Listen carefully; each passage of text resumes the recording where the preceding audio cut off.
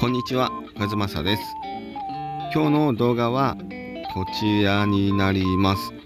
えっとね、今話題っていうか、えー見かける機会が多くなったね、こちら、メダカの、えー餌ですね。なんか、SNS でね、結構目にすることが多いので、まあ、どんな感じなのかっていうのをね、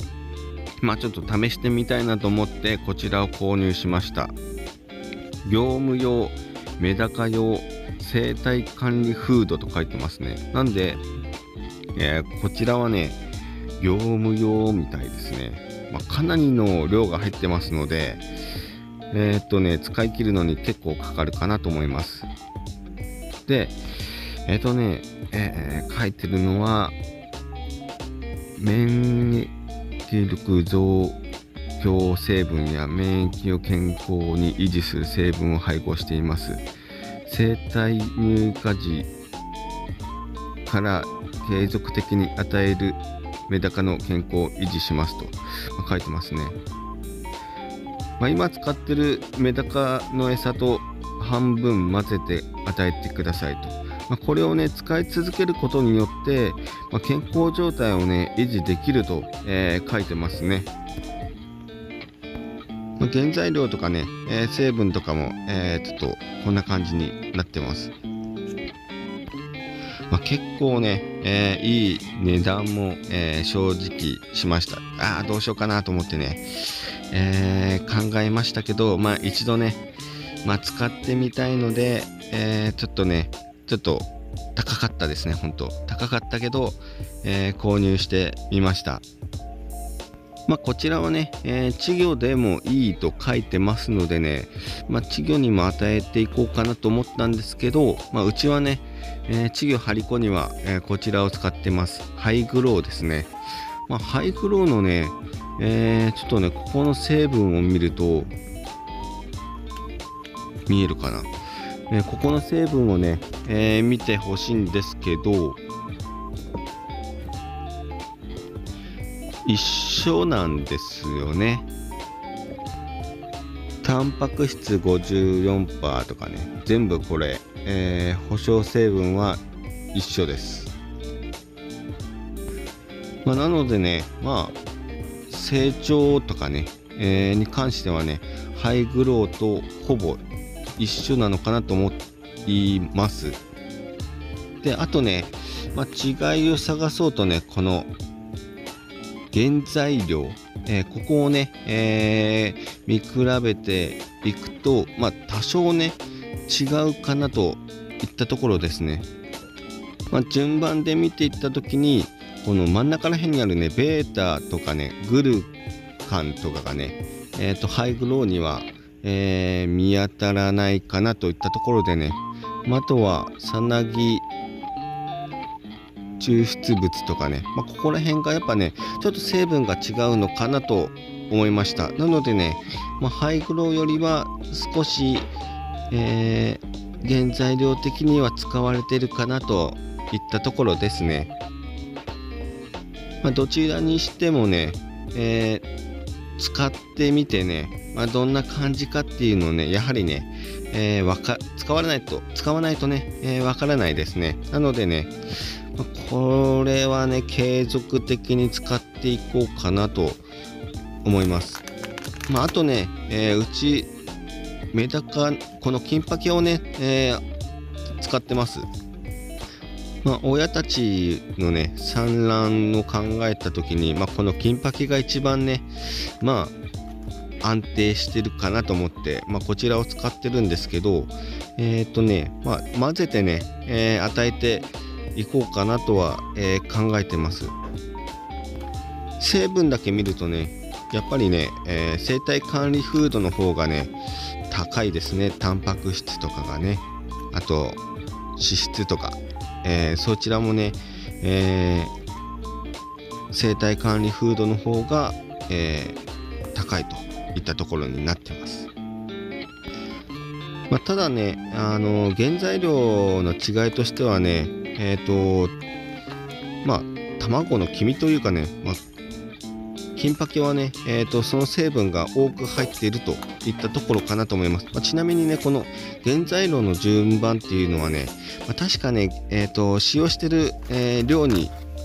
従って、えーと、多い順になってるとかいう話なので、まあえー、金パケに関しては、えー、卵の黄身が多く使われてるのかなといったところですね。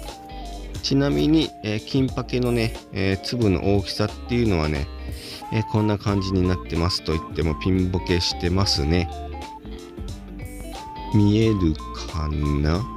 見えた。えーまあ、これぐらいなので、えーと、親たちにはね、まあ、ちょうどいい、えー、大きさなのかなと、えー、思います。ちなみに、ハイグローの、えはどんな感じかというとね、まあ、これ稚魚用 SS サイズなので、えー、大きさの比較はね、まあ、しにくいですけど色的にはこんな感じ、えー、オレンジが濃い、えー、色となってます。そしたらねこちらの生態管理フード、えこちらを開封していこうと思います。まあ、なんとなく、まあ、書いてます、えー、表紙にも載ってますけどね、まあ、ちょっとね、ハイグローに近いのかなと思います。色的にね。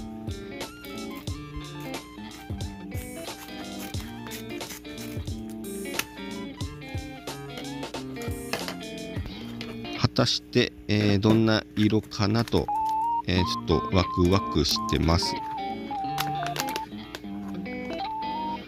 ちょっとねこれ見るとハイグローよりも色的には、えー、薄い色薄いっていう言い方悪いですけどねえっ、ー、とオレンジっぽさはないかなと思います。ハイグローに比べてね。こんな感じですね。色的には、えー、ハイグローより少し薄いかなといったところです。まあ金パケに近いのかな？色的にはね。あとね気になる粒の大きさですけどちょ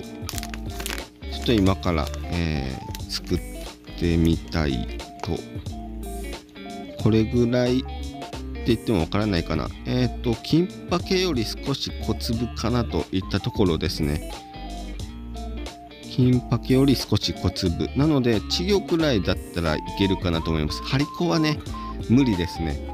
えー、張り子抜けした稚魚に関してはもうこれこのままいけるサイズかなと思います。じゃあ実際ね、えー、与えていこうと思います。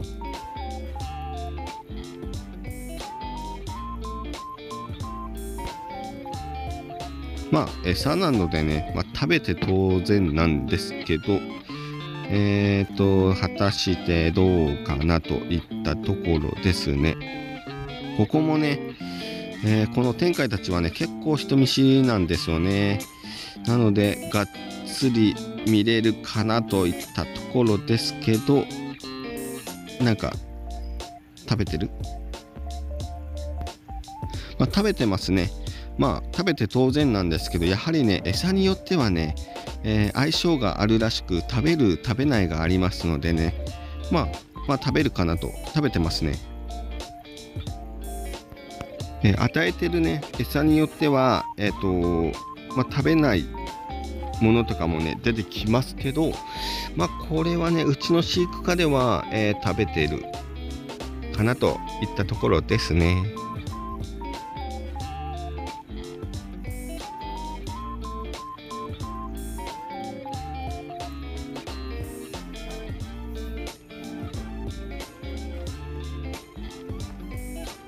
えー、そしたらついでにね、えー、もう一品種与えてみようと思います。ここはねマリアージュですね。どうかなといったところです。ここはねまあまあがっつきはいいですけどね。まあ、そこまで大きな多くの量を食べる印象がないんですけどまあ食べてますね。メダカの相性というかね、えーと、うちの、えー、飼育してるメダカたちの、に対してはね、えー、と問題なく、えー、食べるかなと、えー、思います。今日の動画はね、えーと、メダカ用、えー、業務用のね生態管理フード、えー、気になったのでね、えー、購入して、まあえっ、とそのね、えー動画となりました。